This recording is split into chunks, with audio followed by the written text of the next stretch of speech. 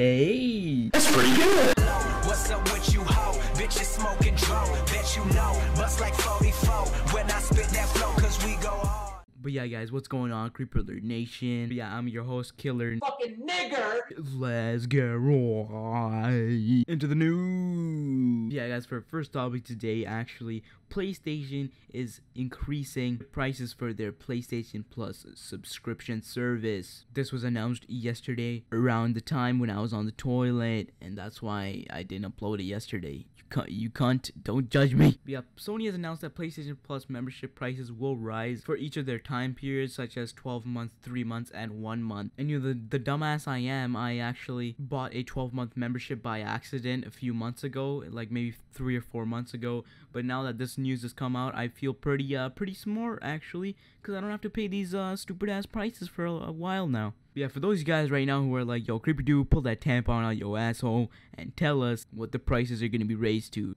And to that, I have to say, don't worry, bro. I got you, fam. Shut your cracker jackass up, alright? PS Plus membership prices will rise from $49.99 to $59.99 for 12 months. And then for 3 months, the prices will raise from $17.99. Oh my god, man. 3 months was the shit, alright? I used to get that all the time because, you know, you get hard on cash sometimes. But, you know, Sony's like, yeah, Sony's like, fuck you. We're gonna raise the prices. You're gonna pay anyway. Just, just shut the hell your mouth, alright? So 3 months has been raised to $24.99 for 3 months of PS Plus membership. But yeah, I'm pretty pissed off about these prices being raised because I know sometimes I'm gonna play on PS4 even though I'm usually a PC player nowadays. It's just more fun to play with your friends on PS4 and obviously Sony are taking this into factor and just cashing out obviously. Now these prices are gonna go into effect on September the 22nd of 2016 this year. So in about a couple weeks. And this is the first time they've ever raised their prices since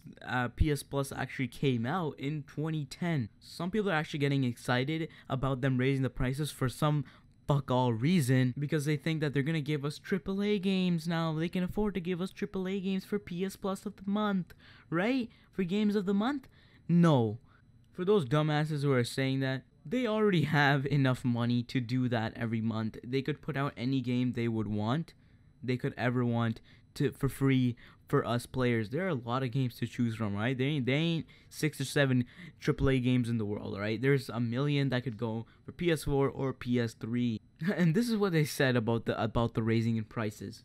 The new pricing reflects the current market conditions while enabling us to continue providing exceptional value to our customers. So yeah, that means give us more money and you know just get the same fucking service. You, you dumb cunt. Also, guys, uh, the prices I read to you first were for the United States, and for Canada, for all my homies up in Canada, up here with me, we have to pay a whopping $69.99, which is basically the price of a fucking AAA game, right? Just $10 less, bro. For one year PS Plus. Yeah, I don't think I'm ever gonna pay for PS Plus after these uh, prices go into effect on September 22nd. Just play some games on PS4, honestly. Yeah, hello? You home? Yeah, I'm home. You want to play or no? Yeah, let's get it. Let's get it, gang, gang. But yeah, guys, what do you guys think about the prices being raised for PlayStation Plus? Are you guys gonna continue with your membership? Because I know a lot of you guys obviously play with your friends and stuff like that, and you actually need PS Plus to do that. So yeah, let me know in the comments down below. My name's Creepy Guy 68 plus one is a win-win here, and uh, I'm gonna go uh, kill myself.